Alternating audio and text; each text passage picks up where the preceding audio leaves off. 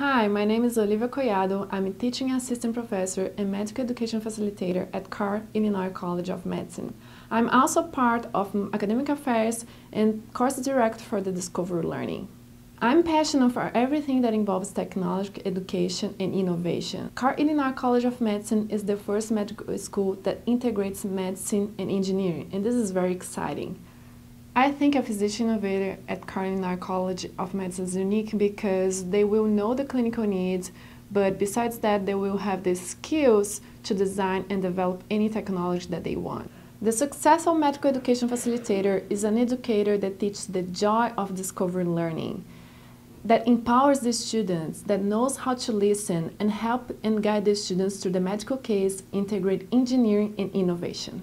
I believe Carle Illinois College of Medicine will cause a great impact in the healthcare industry, bring better quality of life for patients through innovation.